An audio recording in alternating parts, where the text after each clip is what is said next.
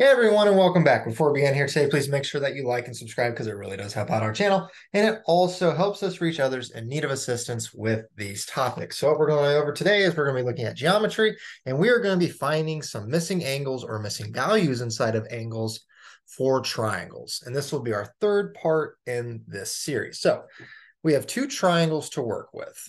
And both of these, we're going to have to find some hidden variables that will form angles inside each of these triangles. So our first one, we have a variable of x as an angle here. This angle up here is denoted as 3 times x, then minus off 31 degrees. And this one down here is 2 times x plus 7. So we need to determine x for each for this triangle here. Well, how do we do that? Well, we do know that a triangle has a total of 180 degrees inside of it. Well, what we can do is we can add all these up and that would total up to 180 degrees. And then we can use some algebra to solve for x. So let's go ahead and do that.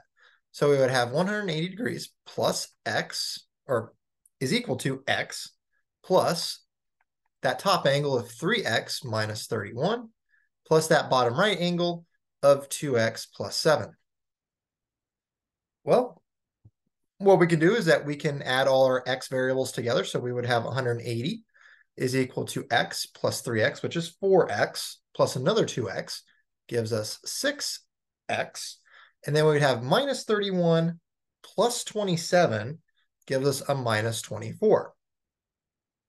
Well, we just take 24 to the opposite side, and we would end up with 204, since it would be 180 plus 24, each side to get rid of the 24 here, is equal to 6x.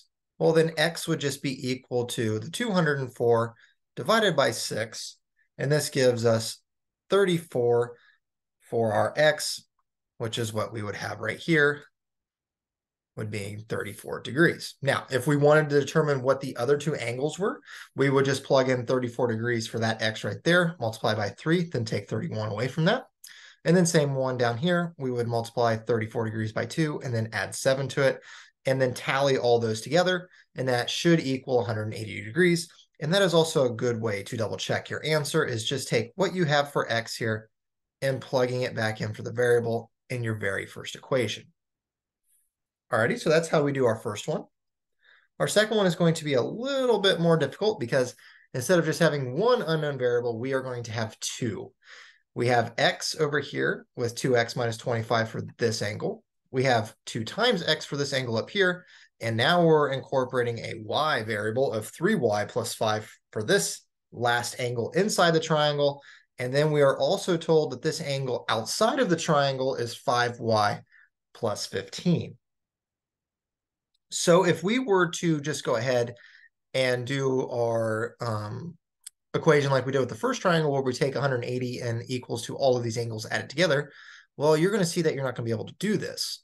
So it'd be our first angle of 2x minus 25 plus our second angle of 2x here at the top, and then plus our last angle down here on the inside at the bottom, which would be, ooh, not 2, it would be 3y plus 5.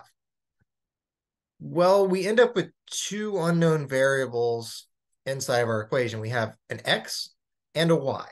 And when you have two unknown variables, well, you need two equations to solve for that, or you should solve for just one of the unknowns by itself before plugging it in here. So when you have two variables that are unknown per one equation, can't solve for either one. So what do we do? Well, we're going to utilize this portion right here because this is a straight line that is connecting these two angles. Well, what's the total amount of degrees in a straight line? Well, that's also 180 degrees. So you would have 180 degrees for the inside of a triangle. And for a straight line, it totals up to be 180 degrees as well. So these two angles right here involving y are going to add together to be 180.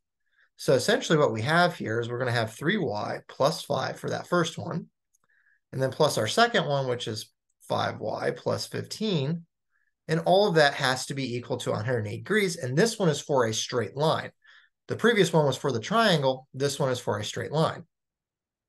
So we have one unknown variable here. It's occurring in two places, but it's a single unknown variable of y. So we can combine like terms and solve for y. So let's go ahead and do that. So we have 3y plus 5y. So that ends up being 8y. And then 5 plus 15 gives me 20 is total to 180. All right, well, let's take 20 away from each side here. So we end up with 8y is equal to 160. And then divide both sides by 8. And we end up with 160 divided by 8 gives me 20 for my y. Well, now with y, what I can do is I can just take that boom, boom, boom, boom, and plug it back into my original equation for the second triangle. And then once y is known at 20 here, x is my only unknown variable inside that equation. And with one equation, one unknown variable, I can solve for x now. So let's go ahead and I'm just going to rewrite it down here a little bit, give a little bit more room here. So we are going to have our 2 times x minus off our 25 plus r2 times x and then plus 3 times y. Well, y is now 20 that we just determined. And don't forget about this little plus 5 here for that angle is equal to the total amount inside the triangle, which is 180 degrees. So we can combine like terms of x here. So we will end up with 4 times x from the 2 plus the 2. And then we're going to have minus 25. This becomes 60 for 3 times 20. So we're going to have minus 25 plus 60 plus 5 gives me a total of plus 40 is equal to 180. So subtract 40 from each side. We end up with 4x is equal to 140. Well, then x is just going to be equal to 140 divided by 4, and that gives me 35.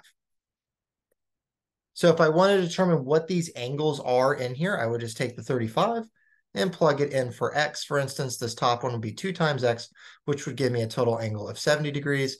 And I would repeat that process down here, and this would be, of course, then the 50 degrees then. Or not 50 degrees, 45 degrees, sorry. And then you can do the same process for y if you want to, and that would be 65 degrees. And all of those should add up to be 180 degrees, which they do. So that's always a good way to double check to make sure that you've done the calculations correctly. So that's how you would solve this problem and solve both of these triangles looking for our unknown variable x, or if you were asked what are the angles inside of the triangle. So I hope this video was helpful. And if you want to see more problem solved this Friday, please check out the other videos on our channel. Also, if you haven't done so already, please like this video, leave a positive comment below, and subscribe to the channel because all of that does help us out. Thank you for watching, and I hope you had a fantastic day.